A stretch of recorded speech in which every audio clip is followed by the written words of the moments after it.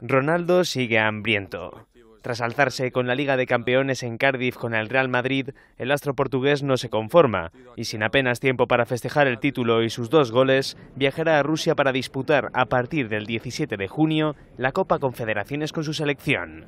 En este final de temporada ha sido clave el descanso que le ha dado Zinedine Zidane, pero también el hecho de que el luso se concienciara de que a sus 32 años ya no puede jugar todos los partidos y que se haya acercado cada vez más al área, lo que ha aumentado su efectividad goleadora y permitido llegar en plena forma al final de la temporada.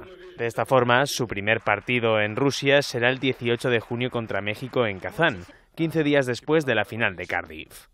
El cartel de la Copa Confederaciones impresiona, con Alemania, campeona del Mundial de Brasil, Portugal, campeona de la Eurocopa, Chile de la Copa América, México, campeona centroamericana, y además de Camerún, Austria, Nueva Zelanda y la anfitriona, Rusia.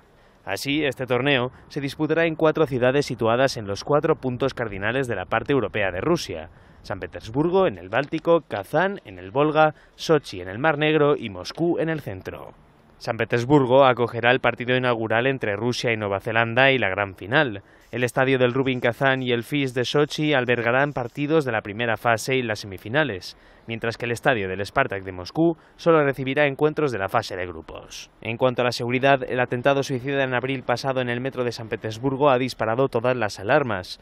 El presidente ruso, Vladimir Putin, ordenó redoblar las medidas de seguridad a partir del 1 de junio para prevenir atentados suicidas en la Copa Confederaciones.